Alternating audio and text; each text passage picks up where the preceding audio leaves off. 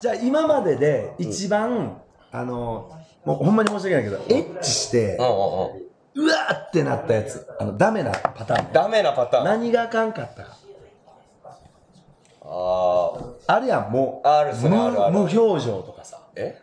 噛むとか。相手の相手の女相手の女の人が絶対あかんかったやつ。これあない？俺絶人生人生思い出して、今までエッチした中でもマジでやばこれ無理やってなった女の人。あるよ。ある。じゃあまずまんちゃんから。言われへんよ。おもろすぎる。あなたと言われへん。それ 2, 秒で。2秒で。話2秒で2秒で、ん。あれ次の日あったやん俺まんちゃんと、今分かった。次の日いいなまんちゃんとああ、あの話？顎痛い。って顎痛い。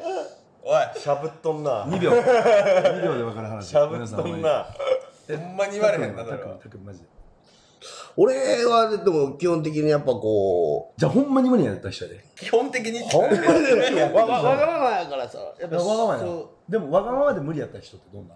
あのきついやつ。いやこここうしてほしいからな俺結構乳首舐めてもらいながら。わからんかった、今の。じ。ゃああれガチすっごい言うやん すっごいグリグリ言ったやん。かいやいやでもでもでも分かるこのこのこのじゃあなんて言うんだ上ろうここのに上にちゃんといていただいて。そうそうしっかりこう柔軟性がある人。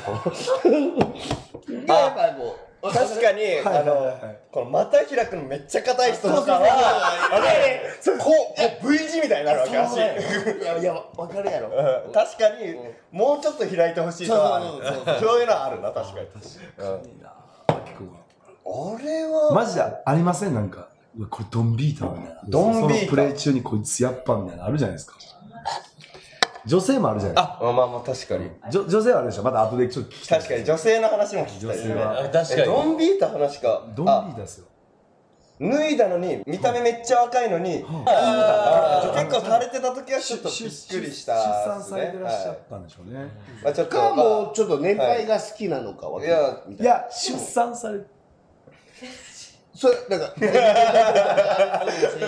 あれはあれで興奮せん？あれはあれで興奮する。興奮？こうする。ど、どう、こうする。父よ。父を興奮？父をこう。うんえ、絡み合わせるってこと？